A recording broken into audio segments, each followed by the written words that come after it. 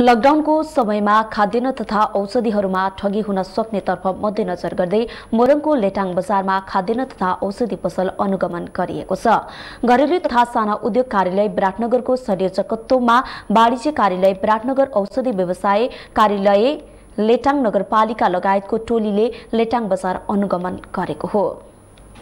लकडाउनको में खाद्यान्न तथा औषधिहरूमा ठगी होना सकने तर्फ मध्यनजर को लेटांग बजार में खाद्यान्न तथा औषधी पसल अनुगमन गरिएको तथा साना उद्योग कार्यालय संयोजत्व संयोजत्वमा वाणिज्य कार्यालय विराटनगर औषधि व्यवसाय कार्यालय लेटाङ नगरपालिका लगायतको टोलीले लेटाङ बजार अनुगमन गरेको हो। लकडाउनको समयमा मोरङका विभिन्न ठाउँमा बजार अनुगमनलाई निरन्तरता दिँदै आएको घरेलु तथा साना उद्योग कार्यालय विराटनगर संयोजक रहेको टोलीले मोरङको लेटाङमा फार्मेसी र किराना पसलको अनुगमन गरेको छ। अनुगमनका क्रममा लेटाङ बजारमा रहेको दीर्घायु लेटाङ फार्मेसीमा बिक्रीका लागि राखिएका म्याद गुज्रिएको औषधि जफत गरी कारवाही अगाडि बढाइएको छ।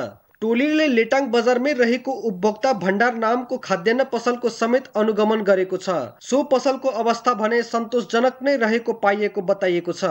म्याद गुज्रिएका औषधि बिक्रीका लागि राख्ने दीर्घायु लेटाङ फार्मेसीबाट म्याद सकिएको औषधि जफत गरी कारवाही अघि बढाइएको घरेलु तथा साना उद्योग कार्यालय विराटनगरका प्रमुख गोकुल केसीले जानकारी दिए। उपभोग्य वस्तुहरूको क्राइसिस भएको अवस्था महँगी भएको छ भन्ने सूचनाको आधारमा लेटाङ नगरपालिकामा आएर आज अनुगमन गर्यौँ। त्यस्तै अनुगमन गरेकोमा हाम्रो यो दीर्घायु फार्मेसीमा चाहिँ अलिकति डेट सकिएका औषधिहरू राखेको अवस्था पाइयो।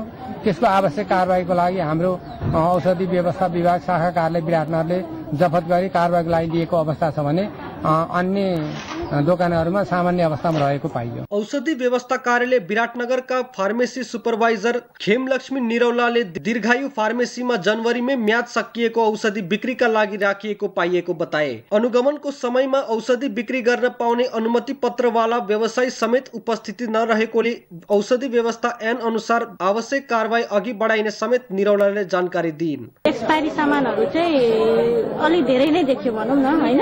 अनि एक्सपायरी सामान लगायत अनि त्यहाँ चाहिँ व्यवसाय अनुपस्थित पनि देखियो। त्यसले गर्दाखेरि चाहिँ अब उहाँहरूलाई चाहिँ हामीले विभागमा बोलाएको छौँ फर्दर फर्दर प्रक्रियाको लागि। किन अरू समय भएको भए त हामी उहाँहरूलाई यही पसल बन्द गर्ने अवस्था पनि आउन सक्थ्यो होइन। तर हामीले यो लकडाउनको अवस्थालाई हेरेर चाहिँ विभागमा बोलाएका छौँ। अब विभागमा चाहिँ उहाँहरू अब उपस्थित हुनु भएपछि अनि त्यहाँबाट चाहिँ उहाँहरूलाई फर्दर प्रक्रियामा चाहिँ हामी लिएर अनुगमनका क्रममा औषधि पसलमा कैफियत भेटिनु दुखद भएको भन्दै आगामी दिनहरूमा नगरपालिकाले अझ कडाईका साथ बजार अनुगमनलाई तीव्रता दिन आवश्यक देखिएको लेटाङ नगरपालिका उपप्रमुख कृष्ण कुमारी निरौलाले बताइन्। जोडिएको स्वास्थ्य रहन अथवा रोग लागेपछि खाने औषधि जस्तो कुरामा चाहिँ डेट स्टार पाउनु भनेको एउटा एकदमै संवेदनशील हो।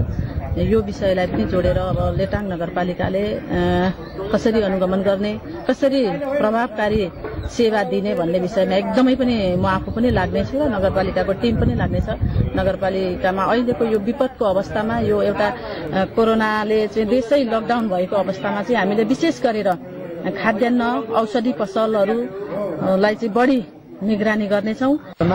वाणिज्य आपूर्ति तथा उपभोक्ता संरक्षण कार्यालय विराटनगरका प्रमुख हिमालय बरालले बजार अनुगमनको कार्यमा स्थानीय तहहरू अझ बढी सक्रिय भएर लाग्नुपर्ने बताए। उनले लकडाउन पछिको अझै बढी म्याद गुज्रिएका सामानहरू भेटिन सक्ने तर्फ स्थानीय सरकारले चनाखो बन्ने निगरानी बढाउनु पर्ने सुझाव दिए। अब लेटाङ नगरपालिकाले पनि निरन्तर आफ्नो अनुगमनलाई अब स्थानीय सरकारको रूपमा आफ्नो अनुगमनलाई अगाडि बढाउनेछ र यहाँ एक्सपायरी भएका सामानहरू धेरै पाइने अवस्था छ।